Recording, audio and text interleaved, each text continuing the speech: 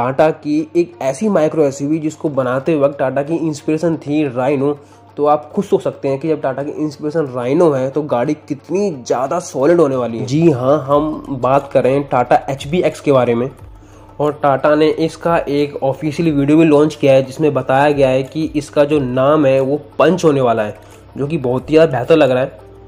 लेकिन जो इसका नाम H B X or horn hornbill होने वाला था, शायद ये नाम ज़्यादा बेहतर लग रहे थे। लेकिन और आप एक फ़ोटो राइनो की टाटा एच बी एक्स के स्टीयरिंग व्हील पे भी आप देख सकते हैं, जो कि ऑटो एक्सपो 2020 में दिखाया गया था। तो चलिए बात कर लेते हैं इस गाड़ी की सेफ्टी के बारे में। तो लेकिन इस गाड़ी में आपको मिलने वाला है अल्फ़ा आर्क प्लेटफॉर्म जो टाटा की आल्ट्रोज में आता है। और जैसे कि आप सभी को पता ही होगा कि टाटा अल्ट्रोस को ग्लोबल एंड कैप में फाइव में से फाइव स्टार सेफ्टी रेटिंग मिली है तो आप खुद हो सकते हैं कि ये गाड़ी कितनी ज़्यादा बेहतर होने वाली है, अपने सेगमेंट के हिसाब से।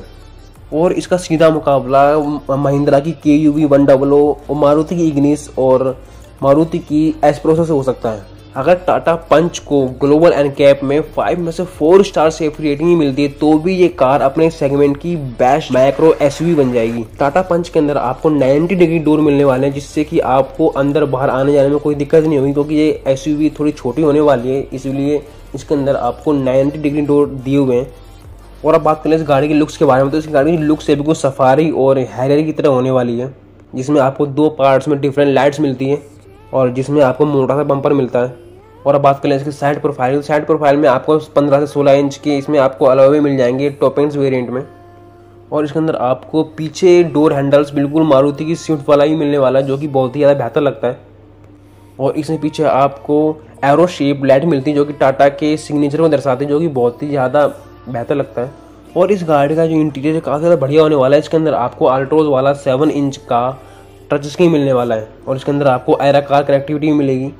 और इसके अंदर आपको डिजिटल और अनलॉक वाला दोनों ही इंस्ट्रूमेंट क्लस्टर देखने को मिलेगा, जो कि बहुत ही ज़्यादा बेहतर है। इसके अंदर आपको हारमन का ऑडियो सिस्टम मिलने वाला, जो कि बहुत ही ज़्यादा बेहतर है। इसकी साउंड साउंड क्वालिटी बहुत ही ज़्यादा बेहतर होने वाली है इसके अंदर आपको चार स्पीकर मिलेंगे और चार ट्विटर क्योंकि इस गाड़ी का साइज़ है काफ़ी ज़्यादा छोटा होने वाला है। इसलिए शायद इसलिए इसके अंदर आपको रियर ए सी ना मिले।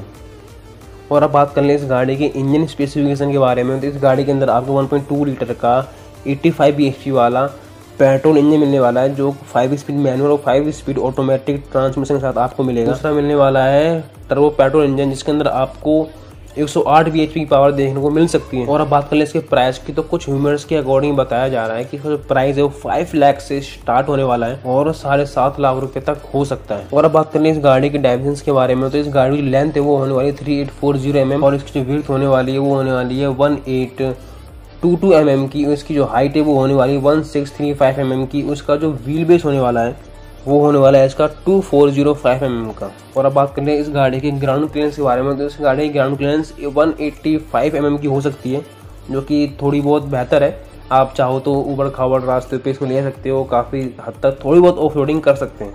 तो बस आज की वीडियो में सिर्फ़ इतना ही, अगर वीडियो अच्छी लगे तो चैनल को सब्सक्राइब कर देना लाइक कर देना और शेयर भी कर देना।